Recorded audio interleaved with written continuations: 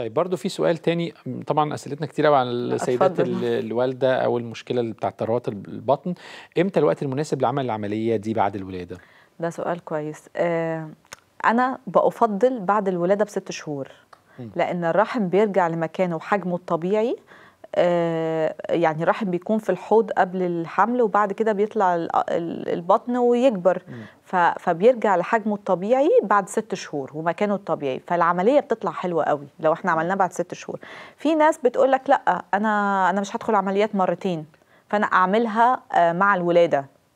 يعني أعمل شد بطن مع الولادة آه، ممكن نعملها كده بس نتيجتها مش بتكون أحسن حاجة. لأن الأنسجة كلها بيبقى فيها تورم حمل. يعني آه بالظبط فأنا أفضل إن هي آه، تخلص الولادة وست. شهور تستغ... ست شهور الأنسجة كلها ترجع مكانها. وتهدى مكان الولادة القيصرية أو الطبيعية دي ونعمل بقى شد بطن بعد ست شهور. في بقى معظم دكاترة النساء بيقولوا لا نعمل قيصرية تجميلية إن إحنا نشد البطن مع القيصرية. آه. في ناس بتعمل ده هو مش غلط يعني مش ممنوع أو غلط بس نتيجته مش بتكون أحسن حاجة.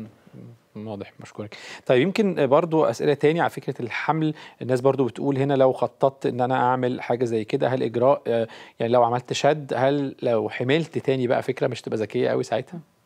آه لا عادي ممكن تحمل تحمل تاني عادي. آه بس من يفضل إن الحمل يتم بعد ست شهور لسنة. من العملية. لأن عضلات البطن آه إحنا بنخيط عضلات البطن ونرجعها تاني مكانها آه فبتاخد لها فترة من ثلاث شهور لست شهور عشان تريح بقى. فبنقول لها مثلا أنت لو عايزة تخلفي تاني يبقى خلي يفضل إن الحمل يبقى بعد ست شهور لسنة عادي. آه، حد برضو يمكن آه، آه، معني بموضوع التخدير فبيقول آه، إيه هو نوع التخدير وشكل الألم بعد العملية دي؟ كويس قوي التخدير آه، شد البطن ممكن نعملها على تخدير نصفي أو تخدير كلي.